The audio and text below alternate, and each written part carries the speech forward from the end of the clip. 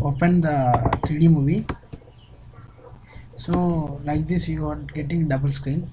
For this we need to uh, go to tools preferences go to video and a- here under the here type 62 under 9 click save and close the video once and open once again. Go to video zoom uh, aspect ratio select 13 on 9 tools effects and filters video effects go over crop here set 960 that's it. So here, here you can see the full screen. Thanks for watching this video